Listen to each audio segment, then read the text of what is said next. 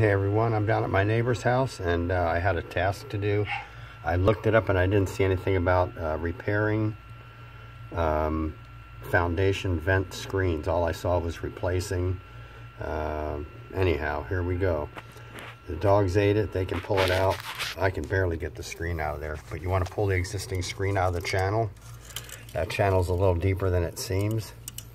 Pull the screen out, take a putty knife, get all the rocks, the chunks out of there all the way because you're going to find out if you cut the screen a touch bigger than this, you can force it into the edge up here.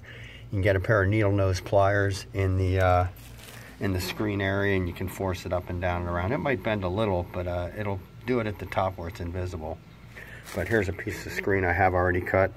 I will pull the rest of this out of the way with gloves on, of course. Make sure the wire's out of the way.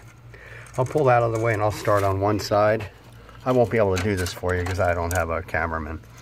But you'd want to uh, start at the bottom and the top, get it in the groove, push the back part into the groove, and then grab the whole screen and shove it with hands on both sides of it. Push it so it slides back into the slot.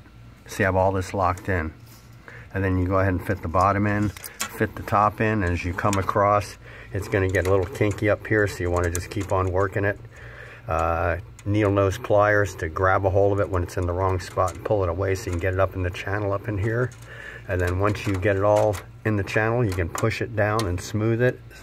It'll fit up inside that groove. And when you walk away, this one over here I did, it's my first one I've ever done. Took me about 10 minutes to do. And uh, that's what you'll end up with, the desired effect. Let me point one thing out that a contractor pointed out on YouTube, and he's very right.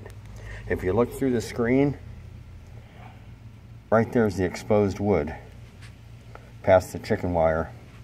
And if rain comes down in this direction, if this were a house that had a lot of rain and wind on this side, that rain would come down here, hit the exposed wood along the foundation, and all this on all these foundation vents are gonna rot. I suggest them putting louvers over the top. They looked at me like I was crazy. But anyhow, as you can see in here, right there's the wood the rain's going to come through. If you have the same circumstances, put a set of louvers over it, uh, over the screen. Maybe just, yeah, anyhow, do something different. All right, fix your screens. Don't dig out the stucco.